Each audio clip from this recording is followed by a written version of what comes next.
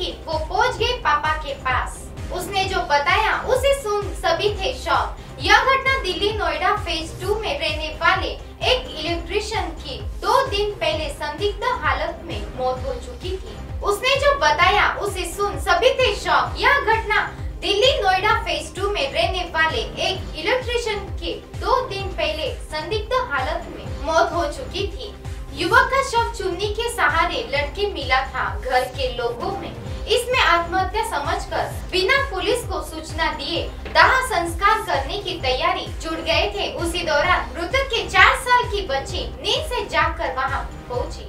लोगों ने दिलासा देने के लिए उसे गोद में उठा लिया था, लेकिन वो उतरकर पापा के पास, अति के पास पहुँची। रोते हुए बात करना चाहा। इसके बाद उसने जो कुछ कहा, उसे सुन परिवार शॉक में रह गए।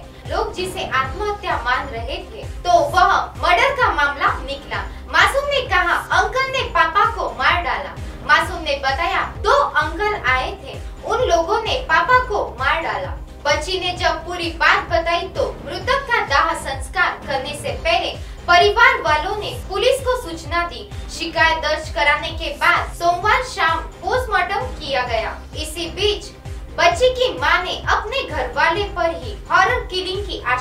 जताई।